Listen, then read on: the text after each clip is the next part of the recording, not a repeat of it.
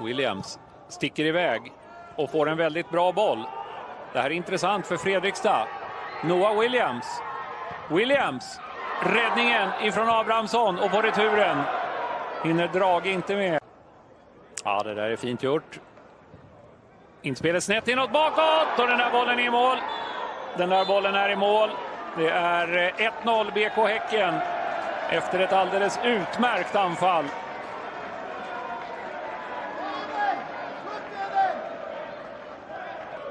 Med den här bollen fram till eh, Hodzic. Och så lurar han där in i mitten Semir Bosnic. Och eh, bollen är, eh, jag ska inte säga klart över, men eh, känslan var omedelbart att den studsade in och sen ut igen. Ser det möjligen tydligare här.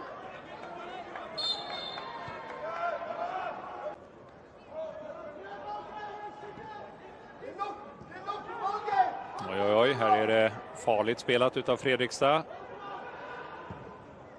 Och vad finns här? Här finns eh, Fredriksson i ribban! Och här då? På returen och så är det skadad spelare. Ja, eh, Makedonci eh, blåser av. Men först Valgeir Fridriksson får iväg bollen. Och så får eh, Turgott tips här utav bollkallarna var han ska lägga den. De står och pekar. Den här hörnan blir bra.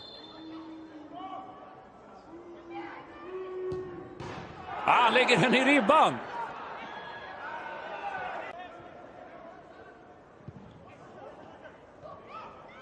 Ja, inget dumt försök.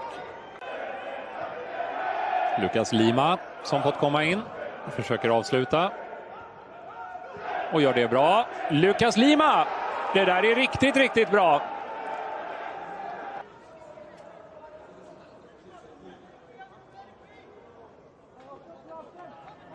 Och det var en lite oväntad eh, start på den andra halvleken. Lite snabbare spel, lite tuffare och så en Fredrikstad-kvittering. Och ett mycket bra avslut ifrån eh, Lima.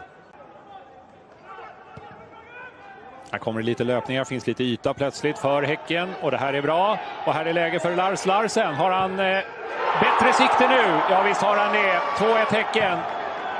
Efter förspel från Traoré och Sadik. Lars Olden Larsen. Och så får de fram den där bollen och, och Larsen tar den i sidan och ger sig själv skottläget. Sadik Traoré och så Björkström fram till eh, Larsen. Han kunde inte göra så mycket annat där Björkström än att bara försöka få bort bollen men det blev inte. Häcken vinner tillbaka bollen. Kan det bli något här och från Simon Gustafsson som kommer leta passning igen. Traoré och nu då Simon Gustafsson. Nej, han drar den över. Skottet över. Och då eh, är matchen